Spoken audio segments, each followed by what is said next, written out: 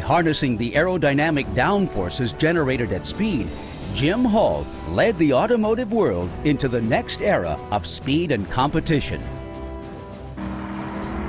In the early 60s, considered one of the best drivers in the world, Jim also began designing revolutionary race cars and creating an automotive dynasty that is still recognized today for both its success and innovation. Working closely with research and development at Chevrolet and combining his own skills as an engineer, designer, and driver, Hall would apply the same forces that keep airplanes up to keeping his own race cars down, going faster than anyone had gone before. Now is whether Hall will try to overtake his teammate. He has the faster chaparral. He raced the record book.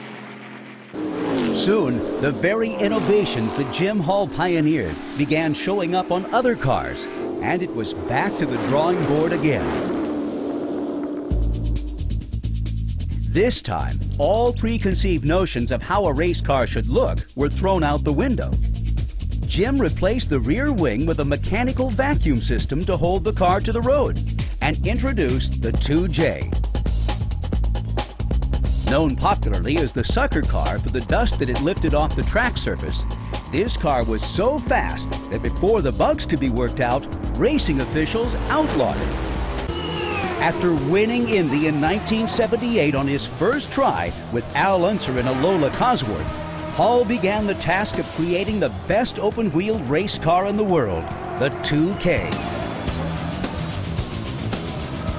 And succeed he did, winning races in 1979 and then the 1980 Indy 500 and the Indy Car Championship as well.